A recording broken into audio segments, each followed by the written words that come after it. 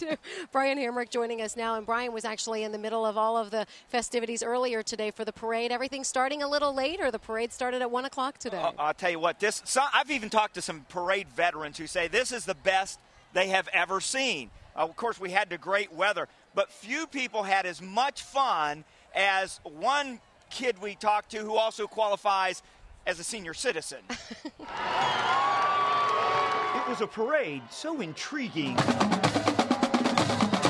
Some were left speechless. Can you make a fire truck noise? Hey, make a fire truck noise.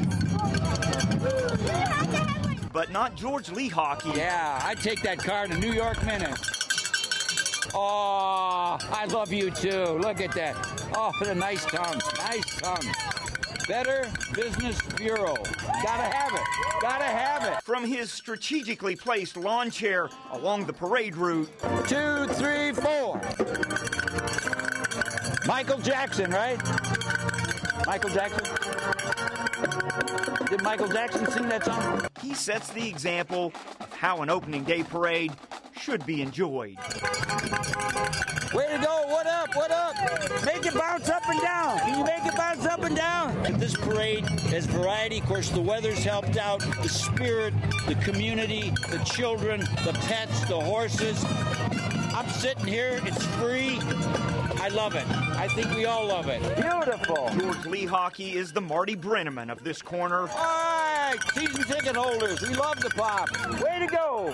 Hey, that's the boxing champ. Yeah, he's been amazing. He's enhanced my little spot right here.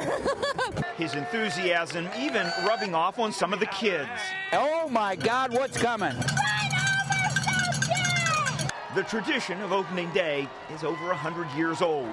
And as long as there are people who enjoy it as much as George and his friends, there's sure to be another hundred or so. I don't think anybody's enjoying this parade as much as you are. You know, I haven't been drinking either. It's just it, when you get to be my age, every day's a blessing, and this is a blessing.